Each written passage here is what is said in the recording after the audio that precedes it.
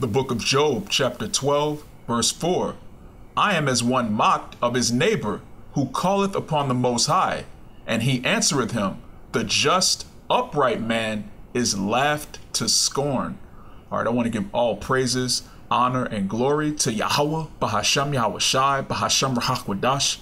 Yahawah is the true name of the Heavenly Father in the Holy Tongue. Yahawashi is the true name of the King and Savior of Israel and Rahak is the Holy Spirit, which is the Comforter. Double honors the apostles and elders of Great Millstone for leading by example in these last days, and Shalawam to the hopeful elect, all you Akim making your bodies a living sacrifice. Now, through the Spirit, the name of this lesson is The Last Laugh. And there are a lot of people laughing right now that don't take this ministry serious. It could be people in your family that don't believe they're Israelites. It could be associates and co-workers that you told about the truth and they mocked it. They laughed at you. It could be jakes within Israel that know who they are and still don't take the ministry serious. And they're using this opportunity to laugh, even with everything going on in the world, all of these prophecies transpiring, and they don't take anything seriously. But very soon, the last laugh is going to be had by the Most High, His only begotten Son, and His chosen elect. So let me get into some precepts. This is, let me start with the Gospel according to St. Luke, chapter 6, verse 21. And this is in red letters. This is Yahweh Mashiach speaking, who these heathen call Jesus. He's the Savior of Israel. Real name Yahweh. Yah meaning he, Hawashi meaning deliverer. He says, Blessed are ye. Who is the ye? He's talking to his disciples, the believers. Yahweh is saying, Blessed are you that hunger now, for you shall be filled.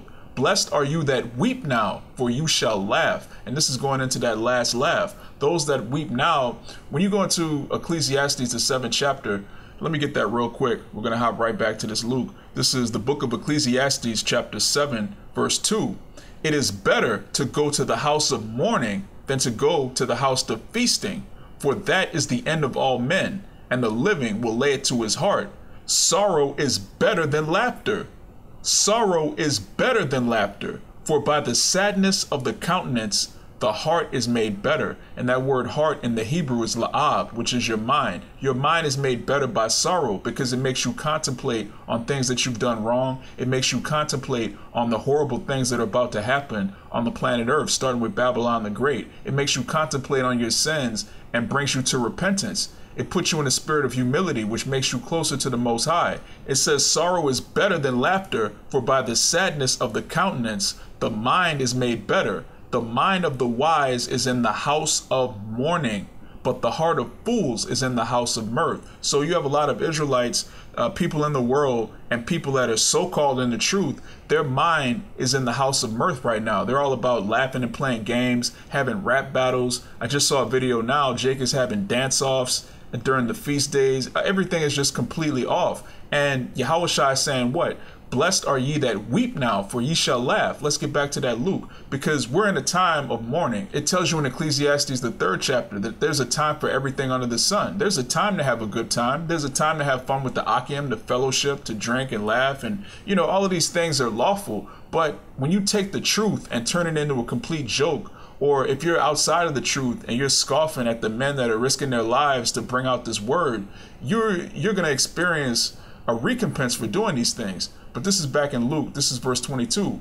Blessed are ye when men shall hate you, when they shall separate you from their company, and shall reproach you, and cast out your name as evil for the Son of Man's sake. And that's exactly what happens if you're in the actual truth, the house of mourning. If you're in the real truth, all right, which starts with Great Millstone, the apostles all the way on down to the believers, as well as those that teach the same doctrine but don't have the name GMS in front of their name, for example.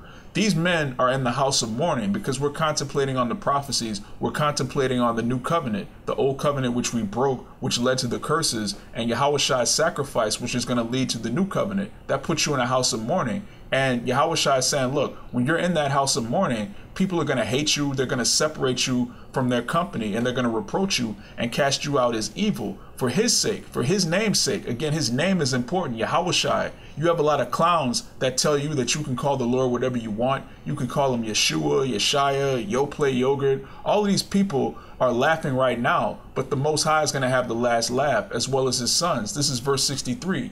Rejoice ye in that day in that day you're supposed to rejoice. You're not supposed to be rejoicing now. You're not supposed to be turning the truth into an excuse to make money off of these lost Israelites that don't know what the hell is going on. So you're using this ministry to mangle the scriptures and convince Jake that now is the time to come together and party as long as they pay you. As long as they pay you to enter into the feast day, whatever madness you're holding. It says, Rejoice ye in that day and leap for joy. For behold, your reward is great in heaven, right? Our reward is great in heaven. We're trying to store up our treasures in heaven so that we can receive our reward in the kingdom. We're not trying to be rewarded here for uh, th- this is this is the absolute worst time to be in the spirit of pride. You know, I did a lesson yesterday going into the difference between pride and honor. You have a lot of Jakes right now. When I say Jake, Jake is short for Jacob. All right, you people of so-called Negro and Native Indian descent, you're the 12 tribes of Israel. You're supposed to be in the house of mourning right now. You're not supposed to be having dance contests and rap battles with fringes on, using the truth to make a mockery of the suffering of Yahushua. It says, For in the like manner did their fathers unto the prophets. Right, these are the exact same spirits that came up against Jeremiah and tried to kill him. These are the same people that had a problem with Isaiah. These are the same people that stoned Stephen. These are the same people that were murmuring against Moses in the wilderness. These were the same people that put Yahushua to death. These are the same niggas that have had a problem with the prophet since the world began, and they're now back in their lot. When you read Daniel, the last chapter, it tells you that Daniel's going to be in his lot at the end of days. But this generation is also in their lot. The scoffers are in the same lot that they were in, just like the righteous men that followed the Lord. They're in their lot too. So it's only right when men separate you from their company. That's why Yahweh says, Blessed are ye. This is verse 24. But woe unto you that are rich, for ye have received your consolation. Woe unto you that are full, for ye shall hunger. Woe unto you that laugh now, for ye shall mourn and weep. Right. Woe unto you that laugh now. If you find it funny that men are preaching this word in the cold while you're sitting in the house talking about, oh, it's stupid to go out year round, that's not what the scriptures are talking about. If you're laughing about the actual ministry, if you're laughing about the sufferings of Yahawashi and you don't want to take part in those sufferings, then you're going to mourn and weep real soon. The Most High said he's going to laugh and mock when your fear comes. Let's get that in Proverbs. This is the book of Proverbs, chapter 1 and I'm going to start at 20 because this lets you know where the truth is going to be heard. It says, Wisdom crieth without, she uttereth her voice in the streets. She crieth in the chief place of concourse, in the openings of the gates. In the city she uttereth her words. So this is where the truth is taught. In the chief place of concourse, in the streets. All right, the Most High does not dwell in buildings made with hands. The truth is not going to be found in these harlot houses that these people call churches. Those are ultimately chapels when you go into the scriptures. Those are places where our people worship idols, starting with Tammuz, who these people call Jesus, is really a, a Greek idol, which goes back into a Babylonian idol. The truth of the Bible is taught on the streets. All right, that's why all the men of the Lord that you see being raised up around the earth, we go into the chief place of concourse. That's a commandment. Yahawashi said, Go out into the hedges, to the highways and the hedges, and bid them to the marriage. That's where his disciples are going to be. It says, In the city she uttereth her words, saying, How long, ye simple ones, will you love simplicity? And the scorners delight in their scorning and fools hate knowledge, right? Our people absolutely hate knowledge. And when you go into First Samuel, the second chapter and the third verse, it tells you that Yahweh is a God of knowledge. So if you hate knowledge, you hate the Most High. You can't hate knowledge and then be cool with the Lord. You have a lot of people that fan the hand and put their hands over their ears. They really don't want to hear the truth because the truth is light. It tells you in what St. John the third chapter that men love darkness because light reproves them. Light, when you shine a light on wickedness, there's only two things that can come from that. A person will change, which is repentance, or they'll continue in their deeds. And uh, we see what it is right now. We see in 2021 that the majority of our people they have to be destroyed because they hate knowledge. It says, "Turn you at my reproof. Behold, I will pour out my spirit unto you." I will make known my words unto you. And that's exactly what the Lord is doing. It says, Because I have called and ye have refused, I have stretched out my hand, and no man regardeth. But ye have set at naught all my counsel, and with none of my reproof. I also will laugh. I also will laugh at your calamity. I will mock when your fear cometh. So the Most High is going to have the last laugh. He's going to laugh when your fear comes. When your absolute worst terrors come upon you, the Most High is going to be laughing. You're going to know that the Lord is doing these things to you. Even though it might be an Edomite, it might be some other heathen that are bringing these calamities upon you, you're going to know ultimately in the back of your mind uh, that's what those guys were talking about. Those crazy guys on the corner. That crazy cousin that I had that was trying to tell me I was an Israelite. That crazy nephew. He was talking about the white man's the devil. They're going to be concentration camps. All of these people have heard the truth, whether it's from you, a member of their family, a coworker, or they saw it on WorldStar, or they saw it on YouTube, wherever they came across the truth. All of Jake has been warned at this point. So it's open season, man. This is verse 27. When your fear cometh as desolation, and your destruction cometh as a whirlwind, then distress and anguish cometh upon you. Then shall they call upon me, but I will not answer. They shall seek me early, but they shall not find me right? And that's going into a prophecy known as the famine of the word. And there's a specific time when the Lord is raising up his prophets and commanding them to go out on the highways and hedges in the chief place of concourse, which we just read. But there's also going to come a point our tongues are going to cleave to the roof of our mouth. He's going to make us dumb, which means we can't speak. There's going to come a famine of the word in which all these people that are laughing right now, they're going to be looking for those same men that they laughed at those same men that tried to warn them, there's going to come a point where they're going to be destroyed. And that last laugh is going to be had by the prophets. It says, For that they hated knowledge and did not choose the fear of Yahweh. They would none of my counsel, they despised all my reproof.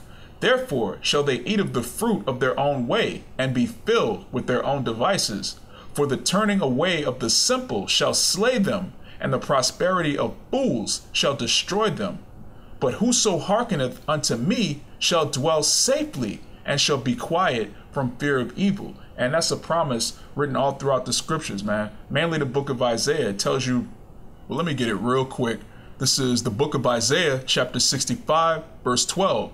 Therefore will I number you to the sword, and ye shall all bow down to the slaughter. Because when I called, ye did not answer. When I spake, ye did not hear, but did evil before mine eyes and did choose that wherein I delighted not. So this is the prophet Isaiah reiterating the same thing in Proverbs. When the Lord spoke, when he called out to you, you laughed, you thought it was a joke. You you didn't listen, man. You didn't want to listen. All right, when you read Hosea 12 and 10, it tells you that the voice of the Lord is the prophets. The Most High speaks through his prophets. That's how he's calling you. He's not calling you by tapping you personally on the shoulder. Hey, Jamal, stop smoking cigarettes. Hey, Keisha, stop eating swine. That's not how the Lord speaks. He speaks through his prophets, and our people absolutely despise the prophets, man. And when I say our people, they're really not our people. I'm not just talking about Jake and the world that don't know that they're Israelites. I'm talking about Jake that know the truth. Jake wearing fringes despises the prophets. Why? Because they don't want to be in the house of mourning. It's too much for them. They weren't called to do this. So they despise the apostles of Great Millstone. They despise the truth. They despise the diligence that's required of a man of the Lord. They despise it all, man. They hate, which means what? They hate the Most High.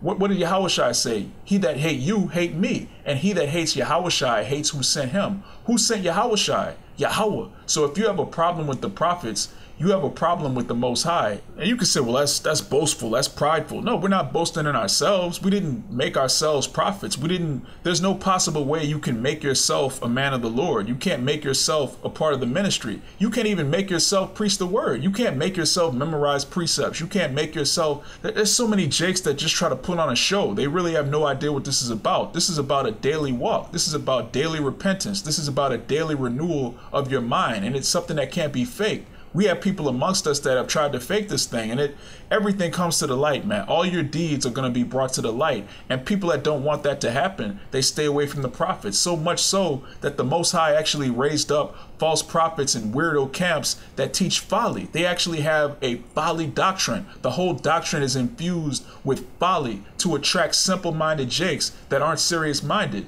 so the Most High is in control of both sides, man. You can't take it personally. But this is verse 13. It says, Therefore, thus saith the Lord Yahweh, Behold, my servants, my servants shall eat, but ye shall be hungry. Behold, my servants, my servants shall drink, but ye shall be thirsty. Behold, my servants, my servants shall rejoice, but ye shall be ashamed. Behold, my servants, My servant shall sing for the joy of heart, but ye shall cry for sorrow of heart, and shall howl for vexation of spirit. So we're going to have the last laugh, Akim. It says, My servants. Who are the Lord's servants? His prophets, his men, the people that believe on his prophets. All right, it tells you in St. John, the 17th chapter, the Lord doesn't just pray for the men that he gave his word to. The Lord prays for the men, women, and children that believe on Yahweh's resurrection through the preaching of the word. So when you go into Romans 10, as well as St. John 17, it tells you that the elect is not just the men speaking these words, but the men, women, and children that believe also. And that's who's going to be laughing in that day because when that day comes, as we just read, these people are going to be completely and utterly destroyed, man. It says, Ye shall all bow down to the slaughter. The Lord actually, let me read 12 again. It says, Therefore will I number you to the sword, and ye shall all bow down to the slaughter. The Most High actually has Israelites on the planet Earth called into the truth, called into knowing who they are, specifically to be bowed down to the slaughter, to be put to death. The Lord actually is raising up Israelites just to kill them. Let me get that in the scriptures because when you first come into the faith, you're like, yeah, I'm an Israelite. Jesus is black, you know, hair like wool. Yeah, Kwame Asherah. You don't understand. If you're not an Israelite of the elect, you have a target on your back, Jake. You have to take this deadly seriously. This is this is Second Corinthians chapter 4, verse 3. But if our gospel be hid, it is hid to them that are lost. Now let's go into this word lost in the Greek. It's Strong's G 622. Apollumi. Apollumi means to destroy, to render useless, to declare that one must be put to death. So if the gospel is hid from someone, that means the Most High has declared that they have to be put to death. They've been rendered useless. The Lord is going to kill these people, man. You have to get that through your mind if you believe. If you're new to the faith, that could be a tough pill to swallow, but you have to get it through your head if the Most High is dealing with you, that doesn't necessarily mean he's dealing with your immediate family, and he's definitely not dealing with your extended family. This is not a case of all Israelites coming together right now to have a, a great barbecue or a dance off. That's totally off. That is not the house of mourning. This is verse 4 In whom the God of this world hath blinded the minds of them which believe not, lest the light of the glorious gospel of Mashiach, who is the image of the Most High, should shine unto them. Right, the Most High is not shining his light unto everybody. There's a specific group of elect men, women, and children that are going to be delivered. Everyone else are Apollumi. Again, let me read that again. But if our gospel be hid, it is hid to them that are lost. And that word lost means to destroy,